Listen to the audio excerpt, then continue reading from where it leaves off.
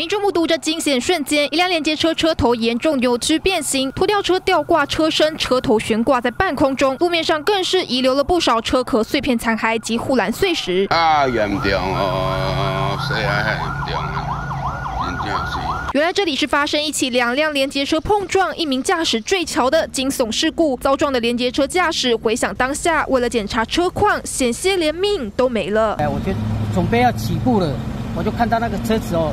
开很快，那个灯打很亮啊！我还在路肩呢，嗯，他直接就给我推下去，就一直推推到我都拉到这边来了。事故就发生在桃园新屋台六十一线快速道路，十三日凌晨三点多，当时三十四岁的陈姓连接车驾驶行驶在高架路段时，正巧路边五十六岁李姓男子也驾驶连接车从路肩起步，两车当场发生擦撞，陈男的连接车失控冲破护栏，人喷飞车外，重摔到十公尺下方的平面道路，一度失去生命迹象，经抢救有恢复。复生命迹象，但掉落的物品也导致当时骑车经过的两名骑士不慎摔车，所幸只有轻伤，没有大碍。离奇的是，一周前同样路段也发生类似意外，驾驶同样也坠落桥下，当场失去呼吸、心跳丧命。同个路段连两星期发生坠桥意外，是不是车速过快，或是道路设计问题，都还有待警方后续调查厘清。记者刘志展、李婷熙桃园报道。